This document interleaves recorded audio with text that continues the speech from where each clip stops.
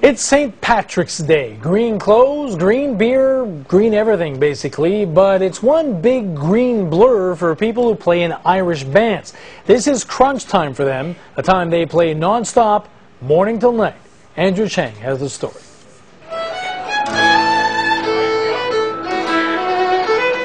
This is March, yeah. The biggest month. It's definitely the biggest month. Okay, I'll show you. This is gigs. We're gonna pay the rent off of this month. You gotta pack most of this crap up, run it out to the cab, go, unpack everything, set up, and then uh, make music.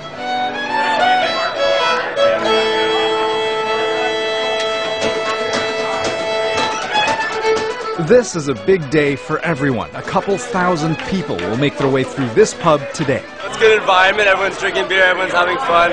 And the music just, you know, makes the day a better day. Spreads the cheer, spreads the joy, gets everybody dancing and yelling.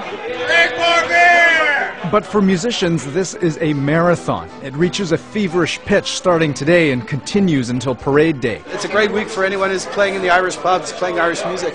Um, you know, you, I'd say you're doing triple your usual schedule at least. Great for business, but physically draining. We've got about nine gigs in eight days this week, so uh, we're just hoping we stay healthy and don't get laryngitis. It's not really a first aid kit. It's just uh, in order not to get laryngitis or whatever. This is full of Halls, Fisherman's Friends, Kleenex. Um, what else is in there? Uh, we got band-aids, polysporin in case you need it, uh, lip gloss.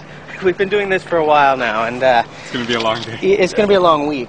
And there are times where you're playing a song and uh, you're hoping the lyrics come as you sing because you have no idea what they are, you know, because you're in your kind of songs.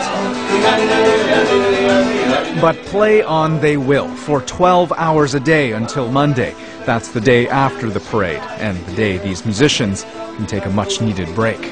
Andrew Chang, CBC News, Montreal.